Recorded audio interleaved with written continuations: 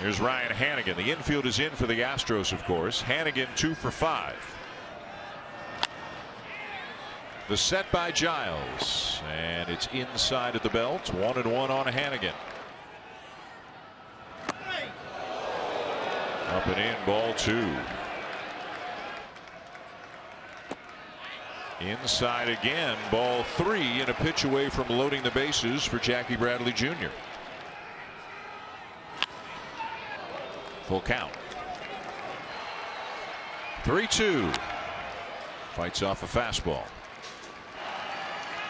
Again, the 3 2 and a swing and a foul back by Hanigan. He had a good rip at that one.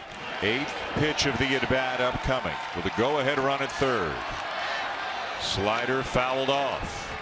3 2 again and a swing and a foul off. Hanigan got a piece.